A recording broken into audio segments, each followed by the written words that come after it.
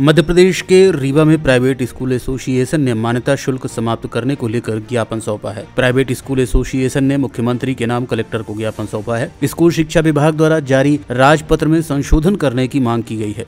आपको बता दें कि राज्य पत्र में सुरक्षा निधि जो पूर्ण रूप से बंद कर दी गई थी, पुनः सुरक्षा निधि जमा करने के आदेश हुए हैं। साथ ही मान्यता के अधीन विभिन्न गतिविधियों हेतु जो शुल्क निर्धारित किया गया था, उसे निःशुल्क शिक्षा अधिकार का सीधा उल्लंघन बताया गया है, जिसे तत्काल समाप्त करने और एक से आठ तक रजिस्टर्ड विद्यालयों के लिए मान्यता के लिए नोटराइज किरायानामा की जगह रजिस्टर्ड किरायानामा की मांग समाप्त करने की मांग भी एसोसिएशन द्वारा की गई है। प्राइवेट स्कूल एसोसिएशन ने मांग की है कि 10 दिन के अंदर उक्त सभी बिंदुओं को समाप्त किया जाए, अन्यथा प्राइवेट स्कूल एसोसिएशन धरना प्रदर्शन व आंदोलन करने के लिए बाध्य होगा।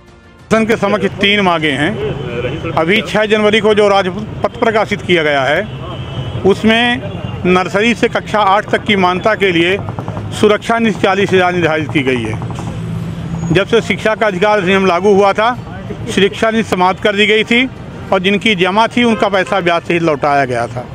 दोबारा सुरक्षा नीति लागू की गई है इसे समाप्त किया जाए। दूसरी मांग है कि पहले नोटराइज किरायानामा से मान्यता मिलती थी। अब रजिस्टर्ड किरायानामा कर दिया गया है। इसको भी समाप्त किया जाए।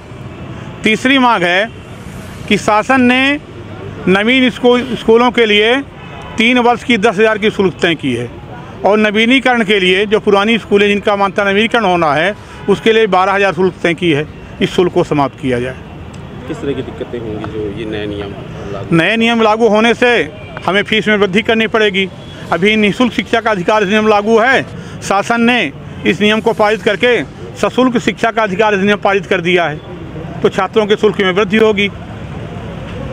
बहुत छात्रों पर पड़ेगा अभिभावकों पर पड़ेगा।